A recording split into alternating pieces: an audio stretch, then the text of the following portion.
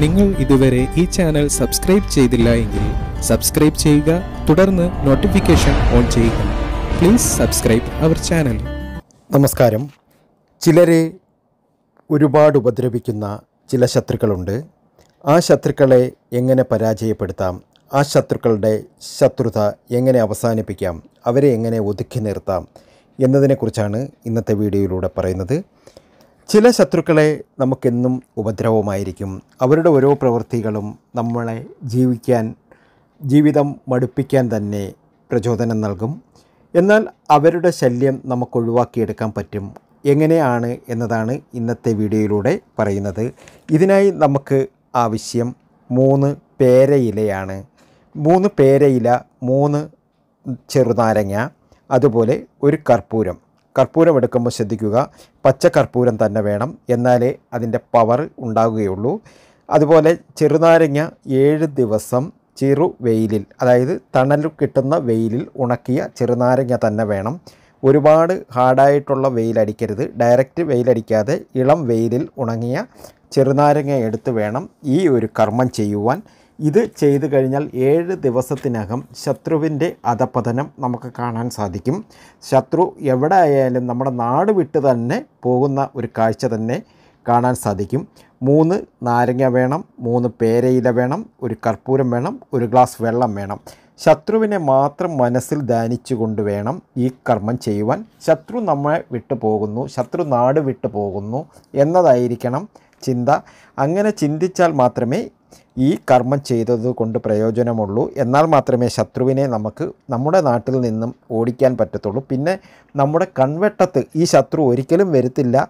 വന്നാൽ തന്നെയും അവൻ ഇഴഞ്ഞിഴഞ്ഞായിരിക്കും വരുന്നത്. അതുകൊണ്ട് വളരെ കൺട്രോൾ ചെയ്ത് വളരെ ശക്തമായ രീതിയിൽ തന്നെ ആലോചിച്ച് അത് വേണോ വേണ്ടയോ ശത്രുവിനെ തുരത്തണോ എന്നൊക്കെ ആലോചിച്ചിട്ട് വേണം ഇത് ചെയ്യുവാൻ. അല്ലാതെ ഒരാളെയും ഉപദ്രവിക്കാൻ വേണ്ടിയിട്ട് അയാൾ ശത്രു അല്ലെങ്കിൽ ഉപദ്രവിക്കാൻ വേണ്ടിയിട്ട് ഈ കർമ്മം ചെയ്യരുത്. അത് നമുക്ക് തന്നെ ദോഷം ചെയ്യും. മൂന്ന് പേരയുടെ ഇലയിലും ശത്രുവിന്റെ പേരെഴുതുക ശത്രുവിന്റെ പേര് അറിയണം. അറിഞ്ഞാൽ മാത്രമേ ഈ കർമ്മം ചെയ്തത് കൊണ്ട് പ്രയോജനമുള്ളൂ. ശത്രുവിന്റെ പേര് ഈ മൂന്ന് പേരയിലയിലും എഴുതിയതിന് ശേഷം അറ്റം മുറിച്ച നാരങ്ങ മൂന്ന് പേരയിലയിലും വെക്കുക. അതിനുശേഷം നമ്മൾ അതിനുശേഷമാണ് ശത്രുവിന്റെ പേര് പേരയിലയിൽ എഴുതേണ്ടത്. അതിനുശേഷം ഈ സമയത്ത് നമ്മൾ അഞ്ച് മിനിറ്റോളം ധ്യാനത്തിലിരുന്നിട്ട് ഈ ശത്രുവിനെ മനസ്സിൽ കാണുക അവന്റെ അധപതനം മനസ്സിൽ കാണുക അവൻ ഈ നാട്ടിൽ നിന്ന് പോകുന്നതായി മനസ്സിൽ കാണുക അവൻ നമ്മുടെ കൺമുന്നത്ത് എത്തില്ല എന്നുള്ള രീതിയിൽ മനസ്സിൽ കാണുക. അത് കണ്ടതിന് ശേഷം ഈ മൂന്ന് ഇലയും മൂന്ന് നാരങ്ങയും കൈപ്പിടിയിൽ ഒതുക്കുക. അതിനുശേഷം നമ്മൾ കൈപ്പിടിയിൽ ഒതുക്കിയതിന് ശേഷം ഒരു കർപ്പൂരം വെള്ളത്തിലിട്ടതിന് ശേഷം വെള്ളം കർപ്പൂരം കത്തിക്കുക.